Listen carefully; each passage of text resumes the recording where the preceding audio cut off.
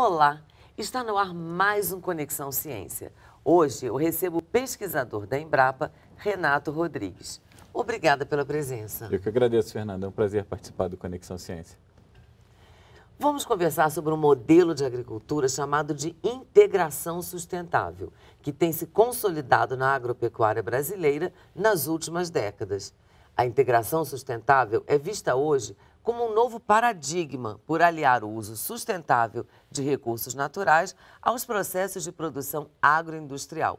Na entrevista de hoje, vamos conhecer as principais técnicas utilizadas neste processo. Não saia daí, estamos de volta em 30 segundos. Vista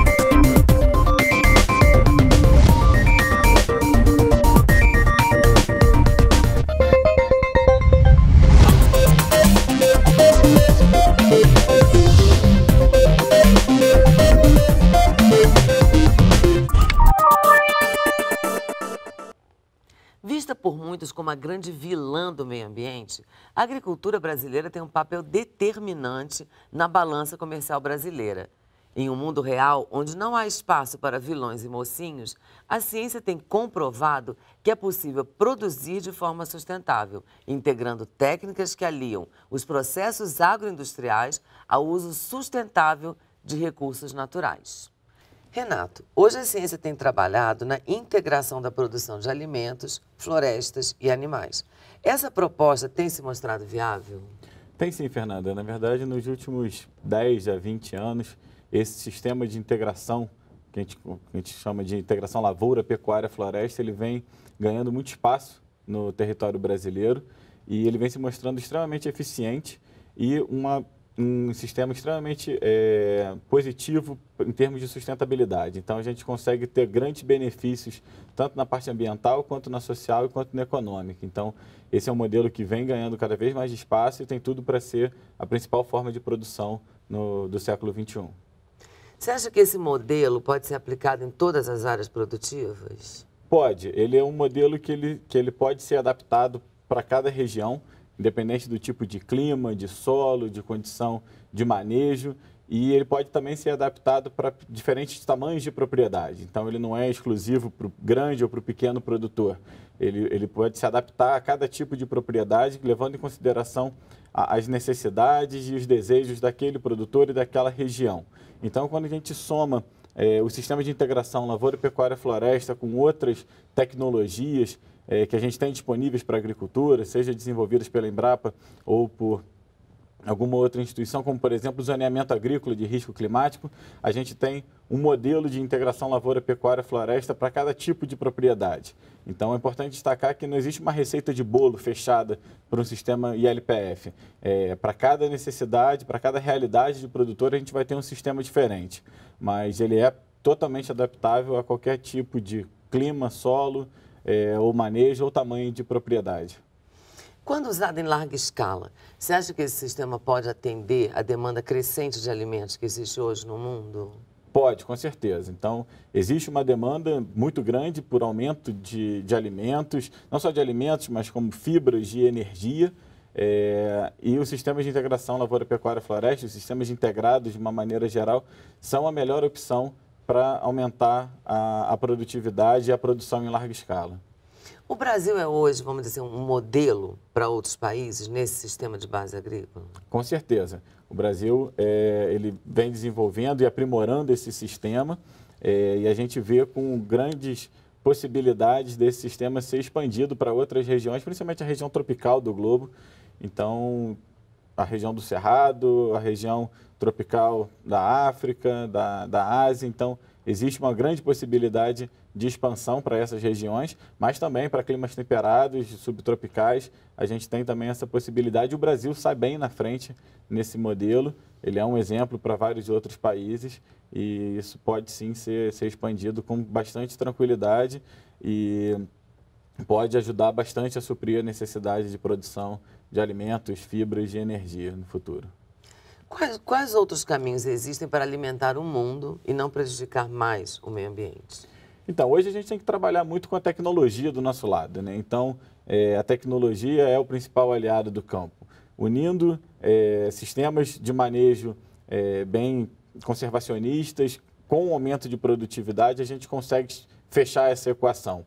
Então, não adianta é, a gente ter uma equação que penda para um lado ou para o outro. Você não pode só preservar o meio ambiente e ter uma produtividade baixa. Então, que isso vai ser sentido no bolso do produtor.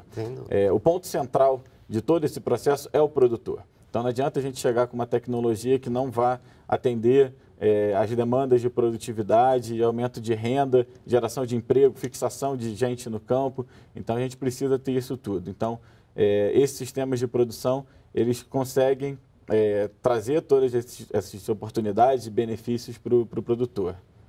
Então, esses sistemas mostram que é possível, sim, intensificar a produção sem, de forma sustentável, sem agredir o meio ambiente. Sim, né? com certeza. A gente costuma falar que produzir e preservar é possível. E os sistemas de integração lavoura, pecuária e floresta são a maior prova disso. Mudando um pouco o enfoque da nossa conversa, a gente sabe que toda atividade humana causa impacto, né? Isso não tem jeito ao meio ambiente. No Brasil, o setor agropecuário é apontado como maior emissor de gases de efeito estufa. Isso é verdade? Fernanda, na verdade, isso é muito relativo. É, Para cada setor, cada país vai tender a ter um sistema que beneficie é, a sua própria realidade. Então, por exemplo, se a gente for tratar em termos de população, é, a China por exemplo, gostaria que as, as, emissões fossem relatadas em termos de números absolutos divididos pela população.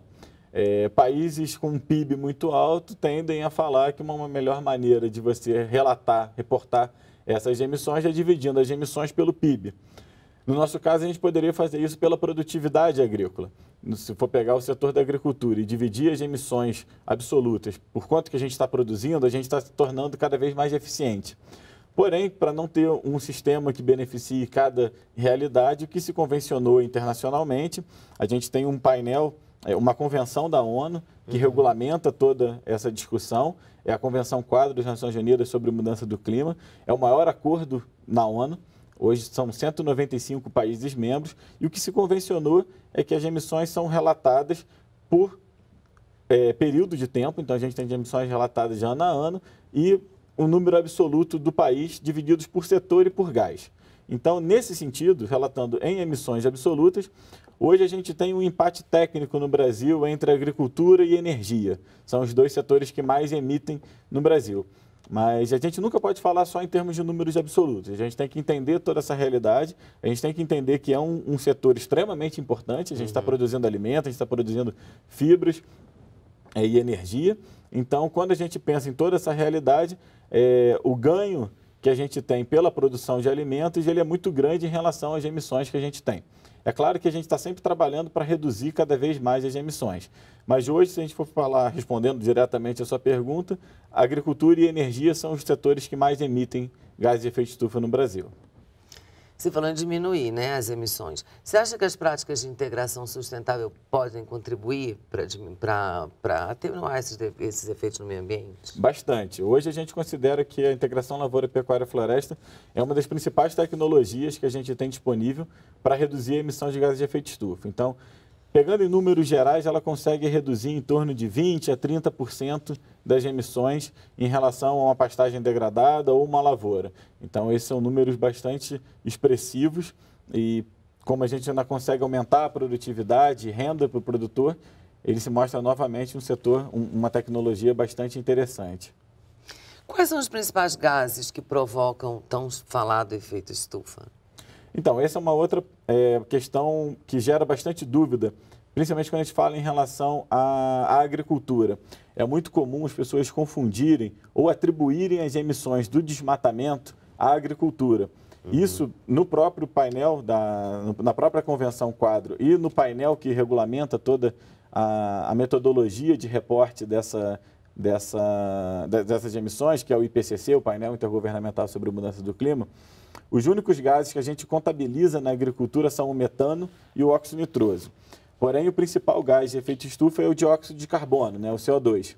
Esse CO2 ele não é produzido na agricultura, mas ele é produzido quando você tem um desmatamento.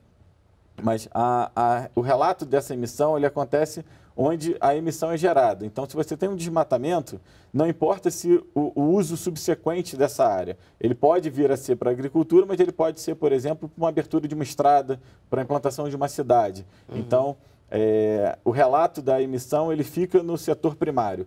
Então, se você tem um desmatamento, você tem emissão de CO2 e isso é relatado no setor de uso da terra mudança de uso da terra e florestas. Na agricultura, a gente contabiliza óxido nitroso e metano. São esses os dois gases que a gente contabiliza na agricultura.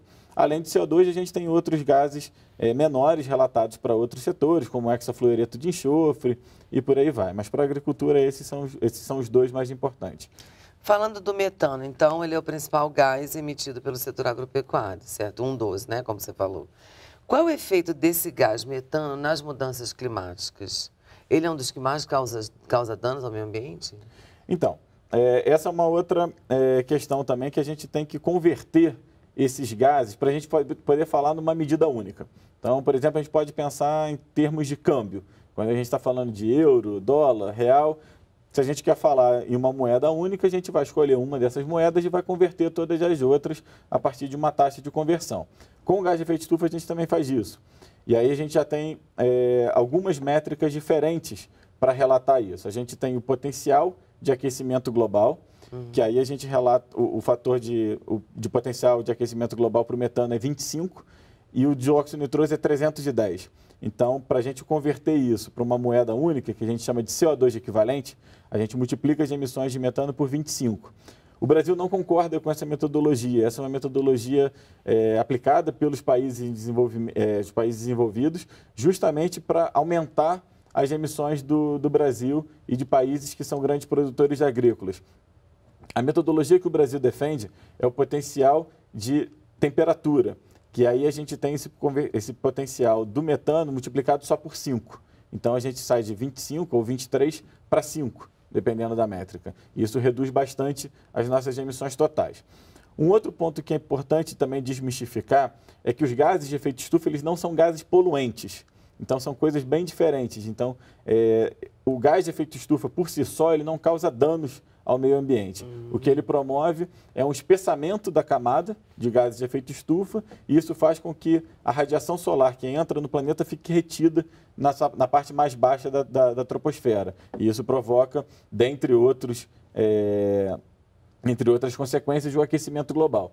Então, os gases eles não são poluentes, mas em termos de, de impacto do metano, ele é muito alto no Brasil hoje porque a gente converte para 25. A gente usa o, o, o, fator de conversão do IPCC. Se a gente usasse a metodologia do Brasil, que é cientificamente mais é, válida do que a internacional, a gente teria um potencial bem menor.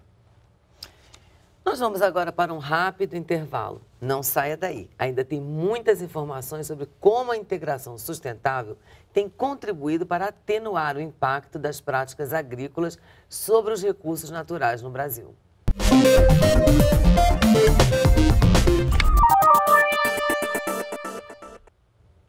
Estamos de volta com Conexão Ciência. Hoje eu converso com o pesquisador Renato Rodrigues. Então, diante disso tudo que você falou, as críticas à agricultura não têm fundamento, certo? Não, não tem fundamento. Elas não são pertinentes. A agricultura é um setor extremamente relevante para a economia mundial, para o Brasil. Ela tem um destaque muito grande e é a base da vida da população. Né? A gente não consegue alimentar uma população do tamanho que a gente tem sem a agricultura que a gente tem hoje. A gente ainda vai precisar aumentar mais. Mas hoje, com a tecnologia que a gente tem no campo, a gente não é, não, não é pertinente atribuir problemas de meio ambiente à, à agricultura, especialmente no Brasil. Quais são os setores que mais contribuem para as mudanças climáticas? É, quando a gente fala em termos de emissões mundiais, o setor que mais emite gases de efeito estufa é o de energia, né, a queima de combustíveis fósseis. Mas a questão é que assim, não existe nenhuma atividade econômica que não emita gás de efeito estufa. Então, o que é mais correto dizer é que atividades mal feitas são as que mais contribuem para a emissão de gases de efeito estufa e, consequentemente, para a mudança do clima. Então, se a gente tem uma agricultura mal feita, ela vai gerar as emissões e não vai produzir a quantidade de alimentos que se espera daquela atividade. A mesma coisa com a energia, com a indústria. Então, a questão é buscar sempre atividades mais eficientes, cada vez mais eficientes, porque aí a gente vai ter uma, uma, uma emissão digamos, que valeu a pena ser feita. Né? A gente, como a gente tem a necessidade de emitir, a gente pode buscar caminhos cada vez melhores para a gente ter a redução menor em função da produção de cada, de cada produto que, que a, a humanidade depende. Ou seja, em todos os setores, né? Em Não todos só os na setores. agricultura, como na produção de Uhum. energia, todos, né? Sim. Na COP21, um evento que aconteceu em 2015, o Brasil se propôs a reduzir até 37% as suas emissões até 2025. Quais os resultados conseguidos até agora nesse sentido? Bom, é importante destacar que o Brasil fez uma proposta bastante audaciosa é, junto ao, ao Acordo de Paris, né, que foi o, o resultado que saiu dessa, dessa COP, dessa Conferência das Partes. Então, em termos de país em desenvolvimento, o Brasil foi o país que, que apresentou o- a proposta de redução mais ambiciosa. Então, a gente escolheu um ano base, foi de 2005, que era o ano do, da criação do protocolo de Quioto, e a ideia é reduzir as emissões até 2025.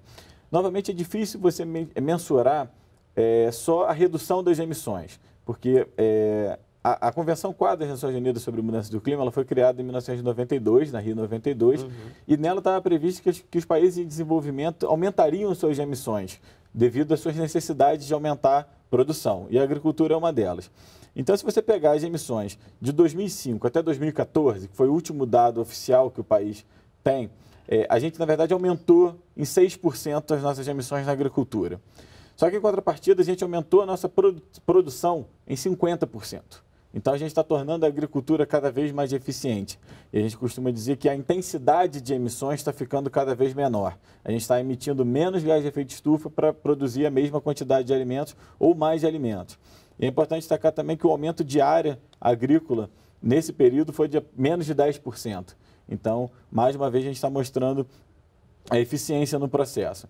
Então, mas o, o- o compromisso do Brasil faz parte dos compromissos nacionalmente determinados é, e isso faz, a gente está fazendo isso internamente pela implantação, pela expansão da área de duas tecnologias na agricultura, a integração lavoura, pecuária e floresta e a recuperação de pastagens degradadas. Então a gente pode dizer que esse plano, o compromisso nacionalmente determinado, ele é uma evolução do plano de agricultura de baixo carbono, ele complementa o plano ABC e ele foram, foram escolhidas essas duas tecnologias como as mais eficientes para redução de emissão e aumento de produtividade e renda para o produtor. Então, o Brasil está num bom caminho, né? Produzindo cada vez mais e reduzindo a emissão de, de efeito estufa pelo do- dos gases emitidos, pelo que eu entendi. Com certeza, Fernanda. Hoje a gente pode falar, sem medo de errar, que o Brasil, dentre todos os principais players da agricultura, o Brasil é o mais eficiente em termos de relação eh, produção, produtividade e emissão de gases de efeito estufa. Em relação à emissão de gases, existem pontos polêmicos. Alguns pesquisadores dizem que os parâmetros internacionais não são adequados ao Brasil. Isso procede? Em parte. É, a gente tem benefícios da agricultura brasileira que não são vistos pelos países de clima temperado, pelo painel que regulamenta esse processo, que é o painel intergovernamental sobre a mudança do clima, o IPCC. Por exemplo, o, o estoque de carbono no solo. É, além da redução das emissões de gases de efeito estufa, os sistemas brasileiros, como o sistema plantio direto, a integração lavoura-pecuária-floresta, a recuperação de pastagens degradadas, essas tecnologias elas aumentam o estoque de carbono no solo. Isso tem uma série de benefícios ambientais. Isso não é visto de uma forma muito clara pelo IPCC. Então, nosso trabalho como cientistas brasileiros é de mostrar para o painel, eu sou um dos, um dos representantes do Brasil desse painel, é de mostrar para esse painel que a agricultura brasileira presta esse tipo de serviço. E isso tem que ser relatado de alguma maneira. A gente já está conseguindo grandes avanços. Então, eu sou um dos autores líderes de um capítulo que a gente vai fazer, a gente está preparando para o IPCC e adiantando aqui em primeiríssima mão uma das tecnologias, é, o capítulo de segurança alimentar sobre a América Latina vai colocar como a principal tecnologia a integração lavoura-pecuária-floresta. Então, o IPCC aceitou essa tecnologia como sendo a grande saída para a segurança alimentar na América Latina até 2050. E como é que é feito o monitoramento dessas emissões no Brasil? Hoje, o, o ministério responsável pela elaboração do Inventário Nacional de Emissões de Gases de Efeito de Estufa é o Ministério da Ciência, Tecnologia e Comunicações, o MCTIC. É, esse inventário ele faz parte de um documento que o Brasil produz, que é a Comunicação Nacional do Brasil, a Convenção Quadro das Nações Unidas sobre a Mudança do Clima, e a Embrapa e outras instituições, universidades participam ativamente desse processo. É, hoje o inventário ele é coordenado pela Rede Clima, que pertence ao MCTIC. É, eu sou um dos coordenadores da Subrede de Agricultura, junto com o professor Estoécio Maia, do Instituto Federal de Alagoas, e a gente produz o documento né, com todo o respaldo do, do Ministério é, que, que gera a, o monitoramento dessas emissões. Então, a gente tem fatores de emissão que são produzidos pela pesquisa do país, e aí a gente tem dados é, que refletem a realidade do país, ou a gente, na, na, ausência desses dados, a gente utiliza dados prontos pelo, é, feitos pelo IPCC. É, então, a, a, ciência e a, a, política andam muito lado a lado nesse uhum. sentido, então a gente trabalha muito no sentido de melhorar o inventário. Então, o monitoramento do, do reporte dessas emissões acontece por esse instrumento, pelo inventário. Para o monitoramento da redução das emissões via plano ABC ou via compromisso nacionalmente determinado, a gente já tem uma outra estrutura no país, que é coordenada pelo Ministério do Meio Ambiente, e a Embrapa participa muito ativamente disso, é, com a plataforma de monitoramento das emissões do plano ABC, que fica localizada dentro da Embrapa Meio Ambiente de Jaguariúna, coordenada pelo Dr. Celso Manzato, com todo o apoio de diversos pesquisadores da Embrapa e de outros ministérios. Então, pelo que eu estou vendo, toda essa nossa conversa tem muitos mitos né, em relação às mudanças climáticas. Muitos mitos. Então, é, mudança do clima é, uma, é, é, um, é um tema que, que mexe muito com a vida das pessoas, uhum. por, por vários motivos, mas o principal é porque ela está diariamente acontecendo na vida, na vida das pessoas. Então, quando você fala assim, ah, eu trabalho com mudança do clima, a primeira pergunta, ah, mas e aí, vai chover amanhã? É. Mas a gente vê que são coisas muito diferentes. A gente tem um componente político muito grande, a gente tem um, um componente econômico gigantesco nessa história toda, porque, como eu falei, é, nenhum, é, nenhuma atividade econômica é isenta de emissões de gases de efeito estufa. Então, por trás de toda essa discussão, a gente tem um componente principal, dinheiro. Então, uhum. a gente tem todo o componente econômico por trás disso. Então, obviamente, é, cada país, cada grupo de interesse vai puxar o assunto pra, em benefício próprio, tentando é, limpar a sua barra ou ter benefícios econômicos com isso. Então, muita coisa precisa ser desmistificada, mas o fato é que a, a mudança do clima está acontecendo, uhum. a gente está. É, a, a humanidade promove emissão de gases de efeito estufa, isso tem um, um, uma, uma consequência imediata, os efeitos estão sendo sofridos e na agricultura o melhor caminho para combater é, os efeitos da mudança do clima e reduzir as emissões de gases de efeito de estufa é a tecnologia. Então a agricultura tem um, ela vive uma situação muito paradoxal nessa história toda, porque ao mesmo tempo que ela emite gases de efeito de estufa, e a gente conversou bastante uhum. sobre as emissões de gases de efeito de estufa, ela é o setor que mais sofre as consequências da mudança do clima. Então a gente tem que preparar a agricultura com muita tecnologia para se adaptar a climas futuros. E a Embrapa está, novamente, o Brasil, de uma maneira geral, saindo muito à frente disso tudo. A integração lavoura-pecuária-floresta é uma, é uma opção excelente de adaptação à mudança do clima, porque ela reduz o microclima da, do sistema de produção, mas a gente tem uma infinidade de outras tecnologias, como melhoramento genético, plantas adaptadas à seca, resistentes à seca, o zoneamento agrícola de risco climático. A gente tem um, um arsenal tecnológico para exercer esse combate à mudança do clima também. Então, pelo que eu estou entendendo, a parceria entre todas as áreas e principalmente a ciência é o caminho para realmente aumentar a produção de alimentos sem comprometer o globo, né, com mudanças climáticas. Com certeza. Toda preocupação em, em, aumento de produção e produtividade, ela tem o meio ambiente como o pano de fundo principal. A gente não pode reduzir, não pode cometer os erros do século passado, onde a gente teve aumento de produção sem se preocupar com o meio ambiente. Hoje essas coisas estão conectadas. A gente não fala em aumento de produção e de produtividade sem falar em preservação do meio ambiente. Então, essas coisas são muito ligadas e vão continuar cada vez mais conectadas. Renato, infelizmente, nosso tempo acabou. Muito obrigada pela sua presença. Eu que agradeço, Fernanda. Foi um grande prazer estar aqui com você. E o Conexão Ciência termina aqui.